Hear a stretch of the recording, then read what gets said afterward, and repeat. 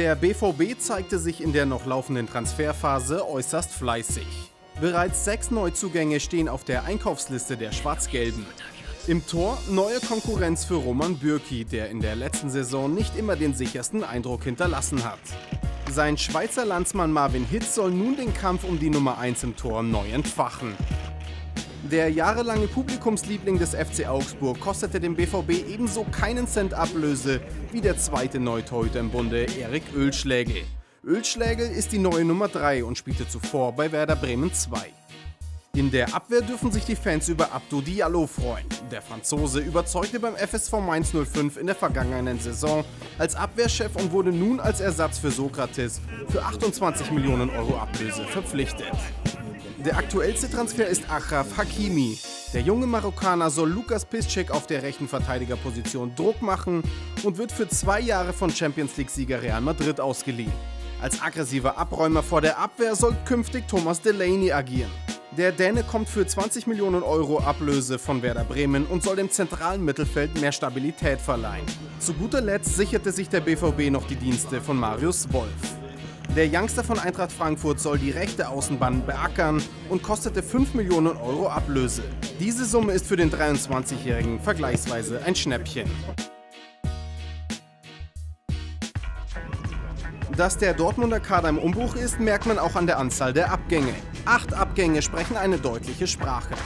Die Namen der Abgänge sehr groß. Roman Weidenfeller beendete seine Karriere, Sokrates folgte Pierre-Emerick Aubameyang zum FC Arsenal und spülte immerhin 16 Millionen Euro in die Kassen.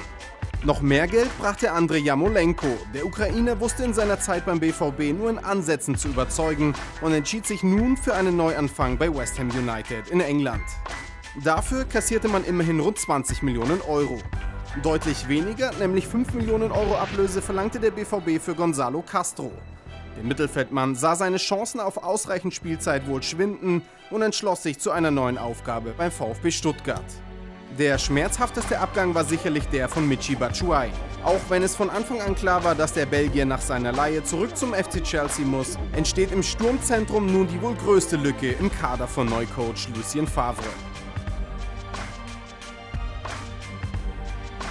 Um diese Lücke im Sturmzentrum zu schließen, suchen die BVB-Bosse um Sebastian Kehl, Aki Watzke und Michael Zorg noch nach einem geeigneten Angreifer.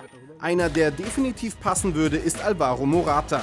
Wie Batshuayi steht er bei Chelsea unter Vertrag, ist bei den Londonern jedoch alles andere als rundum glücklich. Einzig die hohe Ablöse und der Gehaltswunsch des Spaniers könnten bei diesem Transfer ein Problem darstellen.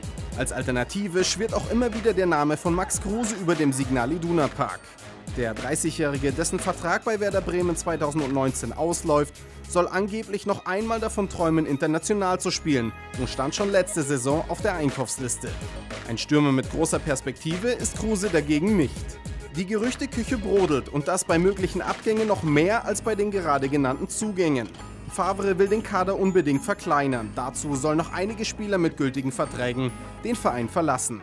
Kandidaten dazu gibt es genug. Sebastian Rode spielt nach seiner langen Verletzungspause nahezu keine Rolle mehr.